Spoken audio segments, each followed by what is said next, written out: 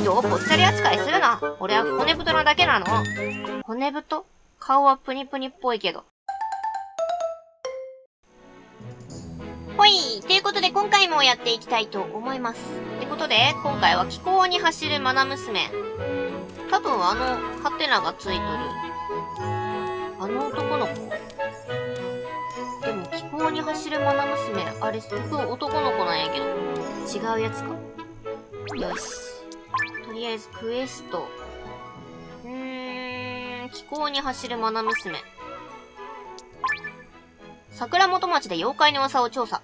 青果店の店主が店をお休みするほど何やら頭を悩ませているらしい。青果店の店主に話を聞いてみよう。青果店というだけあってご褒美がブドウ、バナナ、リンゴめっちゃいいやん。めっちゃいいやん。はい、連れてって。あ、やっぱりあっことは違うんやね。あれか、青果店。どうも、おじいさん。ああ。いや、お客さんかい？いらっしゃい。と言いたいところなんだが、すまないけど、今はちょっとお店を開ける状況じゃなくてな。あのー、何かあったんですか？元気がないみたいですけど。何あれ、猫かわいい？実はな、私の娘が呪われているかもしれんんだ。もともとおとなしくて控えめな子だったんだが、急におかしな行動を取り出したんだよ。すりおろしたリンゴを顔に塗りたくったり、みかんの皮を絞り取って汁を集めたりな。もしかしたらそういう美容法かもしれない。みかんの皮の汁。いくら果物が好物だとしても、今までそんなことをする子じゃなかった。だから私はこの町で噂になっている、妖怪テーラに呪われたと思っているんだ。なるほど。どういう妖怪？気候にすら走ったことない娘が、まさか気候に走るとはな。妖怪のことについてなんて、一体誰に相談すればいいのやら、私に。青果店に店主からの依頼で、娘さんが妖怪に呪われおかしくなってしまった。すりおろしたリンゴを顔に塗ったり、みかんの皮の汁を集めたり、一体どんな妖怪に仕業だろう？ね、思う。なんか日本語おかしくない？青果店の店主からの依頼で娘さんが妖怪に呪われておかしくなってしまったの。この人のせいあ、ごめん、家にした。家にした、ちょっと待って。はい。あのオッケーです、オッケーです。引き受けます、私。なるほど。はい。うん。その娘さんの件、妖怪探偵団に任せてください。妖怪探偵団？君たちは妖怪について調べているのかい？大切な娘を救ってもらえるのなら、ぜひお願いするよ。はい、それで娘さんは今どこに？娘はよろず商店に買い物に行っているはずだ。男で一つ出された大切な娘なんだ。どうかよろしく頼むよ。あの猫めっちゃ泣くやん。気候に走るマナ娘発生。クエストを進めてみよう。ねえ、にゃんこ。かわいい。一体どんな妖怪が取り付いているんだろう。みかんの皮の汁を集める。そんな妖怪いたっけなわかんない。あ、そっち？はいはい。ちょっと待って。よいしょ。銅のこけし。びっくりした。何がキラキラしようかと思った？扉か。いやー、正面衝突 怖いどこですか、よろずやは。ち？全然マーク出てこんね。どっち行った？あ、そっち？はいはい。全然おらんっぽいけど。あ、あれか。あったあったあった。こっちやね。うわめっちゃ めっちゃ取り憑かれとるやん。やばくない？ちょっと。怖いんですけど。ねえ、あなた、私って美しいでしょ？もっと美しくなるために、みかんの汁を浴びないと。やっぱり美容や。ちょっと、待って。サーチ、サーチ、サーチ。何？どんなやつ？でかいけどめっちゃ。おお。座敷わらしを見つける。座敷わらしでかくね？こんなのなんか思っとる座敷わらしと違うけど。でか。わらしじゃないよね。あれ？猫ついてきた君もしかして。ありえないちょっと、何なの君。美しい座敷わらしであるこの僕を見たいからっていきなり照らし出すなんて嫌な感じ。全然座敷わらしっぽくない。よねやっぱり。まあそうだろうね。僕は美を愛する座敷わらしだし。男？うーん。そ、そうなんだ。で、僕になんか用があるんでしょ、うん、娘さん取り付くのやめてもらいたくて。それはちょっと無理かな。あ、力ずくでやめさせる。なんて野蛮なこと言わないでよね。バトルなんてしたら髪が乱れるし、服だって汚れちゃうじゃない。なるほど綺麗好きなんだね。じゃあどうすればやめてくれるかなうーん、そうだね。お願い聞いてくれるならやめてあげようかな。とっても簡単なお願いさ。高麗人参を持ってきてほしいんだよね。噂によれば高麗人参って美容にいいらしいじゃない？もう喉から手以外も出そうなほど美味しくてたまんないんだよね。喉から手以外も出そう。何が出てくるの？足とか？それじゃあ僕はここで待ってるから、よろしくね。高麗人参って野菜なのかな？青果店店主さんなら知ってるかも。高麗人参って漢方のやつよね。高麗人参って人参の種類だよね。多分な。青果店に行ってみようぜ。漢方薬とかでよう使われとるやつよね。よく聞きはするけど。何に効果があるものなのかは知らない。美容だったのあれにゃんこちゃんついてきてない。ってことは全然別のにゃんこやったかな、やっぱり。さすがにあっこからずっとついてきてるとかいうことないよね。だいたおじさん。高麗人参が欲しいです。薬局とか行った方がいい気がするけど。どうも。あおお、君か。どうだい？娘は助かりそうかね、はいえっと、そのことなんですけど、高麗人参って言ってませんか？妖怪退治に必要なんです。こ、高麗人参？ずいぶん変な妖怪に取り憑かれているんだな。店で売っているものだったらいくらでもあげるけれども、高麗人参は野菜の人参じゃなくて、漢方とかに使われるものなんだよ。なるほどそ、そうなんですか？知らなかった。仕方ないさ。高麗人参を売っているとしたら、中央薬局にあるかもしれない。ああ、薬局は夜になるとやっていないからね。暗くならないうちに行ってみなさいあ。りがとうございます私が言った通りじゃないか。高麗人参って野菜じゃなかったのね。ん薬局にあるみたいだけど、まだ売ってるかな売ってる売ってる大丈夫よ。高麗人参ってさ、なんか、一時期めっちゃ流行らんかった？一回も飲んだことないんやけど。高麗人参の漢方とか。でもなんか、昔お試しかなんかでもらったような気がするんよね。あ、ここ？あらまあ、そんな寒そうな格好でいるなんて、ずいぶん元気なのね。子供は元気が一番だけど、風邪をひかないようにしなさいね。はいそうですね。気をつけます。なに？それでお使いに来たのかしら？何のお薬が欲しい？あの高麗人参ってありますか？高麗人参。とっても高いけれど本当に必要なうーのん青果店の娘さんが妖怪に取り憑かれていて、呪いを解くのに必要なんです。うんあらやだわ、妖怪ですって最近噂になってるものね。あそこの亭主が置かない顔していたけれど、そういうことだったのね。信じるんや。それならお代は結構よ。これ受け取ってちょうだいな。マジで？そんな嘘かもしれんようなことにいいんですか？高価なものなんじゃ。いいのよ。私にも娘がいてね。娘のいる親として協力してあげたくって。まあ私ったら長話しちゃってごめんなさいね。それじゃあ妖怪退治頑張ってね。やった高麗人参を手に入れた。よし。お買い物ができるようになった。高麗人参もらえてよかったな。それじゃあ座敷わらしに渡しに行きましょう。よーし。もう場所はわかるぞ。こっち。おったおった。やっぱこの子はここにおる子なんよね。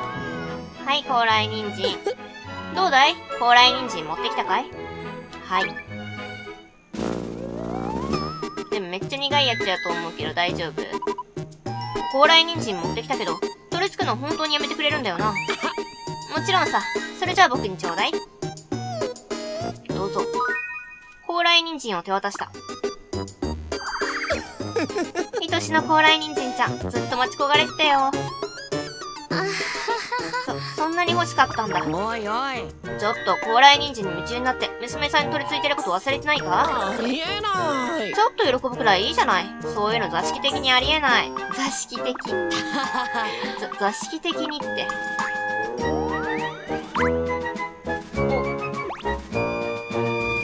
おここには何しに来とったんや？ろ。普通に買い物？これでいいでしょ？よかった。それにしてもなんで娘さんに取り付いてたんだ？もちろん、その家の人間に幸せを呼ぶためさ。だって僕、座敷わらしだよ。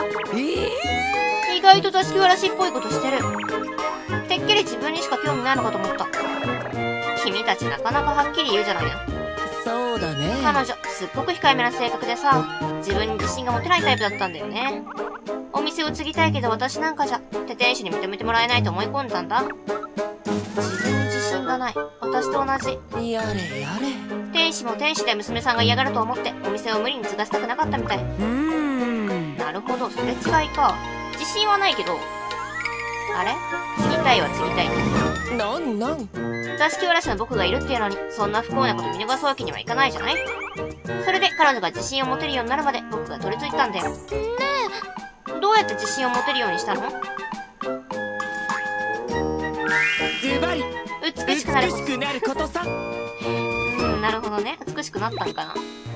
は？美形は一日にしてならずって言葉知らない？知らんわ。日々の努力の積み重ねで美しさが磨かれるわけ。ローマは一日にしてならんじゃないの。そうやって得た美しさはすなわち努力の証。自信を持つきっかけとして最適でしょ。あの、お、私も、私も自信を持てるようになりたい。お願い、あなたの力を貸して。美容にばっかり 使われるけど、器用。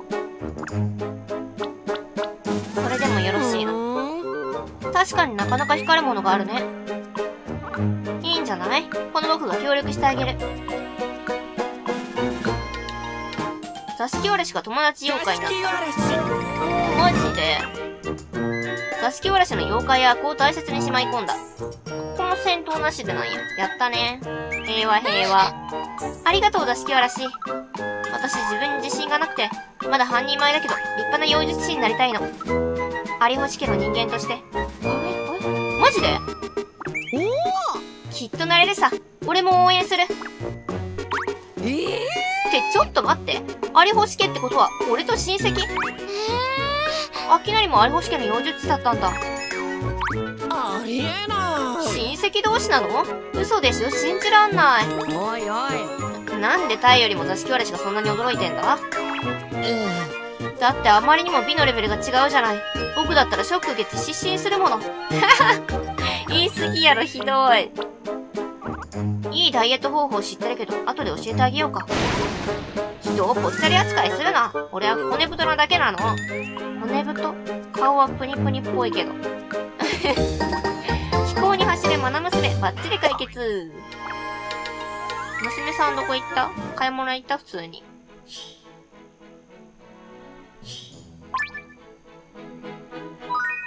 元町青果店で果物、野菜を買えるようになった。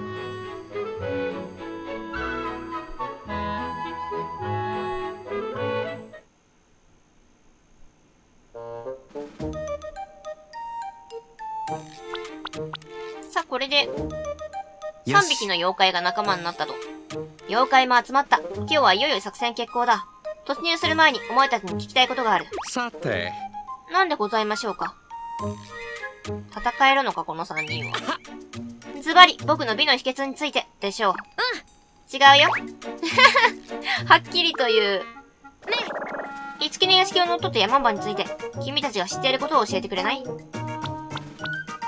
何も知らんとか。にゃにゃ誰にゃん、そいつ？俺っち知らないにゃん。えー、っと、ちょっとした情報でもいいんだけど。知らないにゃん？ね名前くらい聞いたことあるんじゃない？何か話しているけれど。知らないにゃん。ええ、私もそのような妖怪は存じ上げませんね。僕も存じ上げない。何にも知らないじゃん。本当にこいつらでよかったのか？あんまり強そうにも見えないぞ。うーん、でも座敷わらしは強そうな気はする、見た目的に。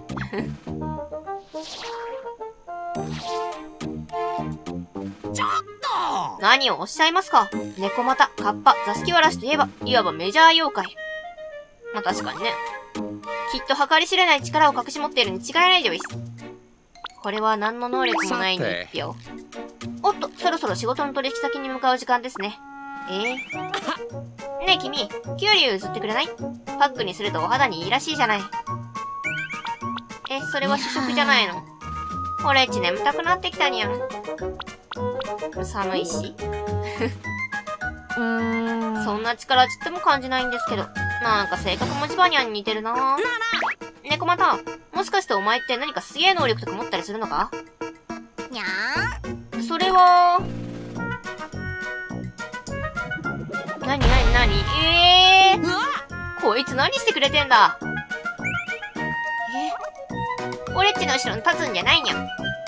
そういう、自分が後ろ向いたんですけど。まあ何かの力になってくれるんじゃないかな。多分。全然期待できない。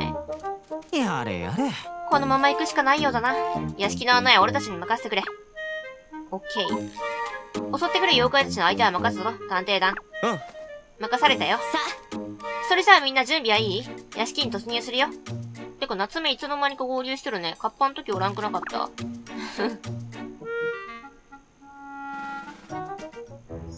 あ山んばめ、屋敷を返してもらうぞ。ドキドキしてきた。みんな頑張ろう。ほい、ということで、今回はこの辺で終わりにしたいと思います。最後まで見てくださってありがとうございます。よろしければチャンネル登録、グッドボタン、Twitter フォローお願いします。最初から見てもいいよという方は、動画の概要欄に再生リストのリンクを貼ってますので、そちらからどうぞ。いつもたくさんのコメントありがとうございます。また次回の動画でお会いしましょう。またねー。ってことで、あの妖怪たちも使えるようになっとるってことかな。まあ、強そうな、使えそうな妖怪がおったら入れ替えとった方がいいかな。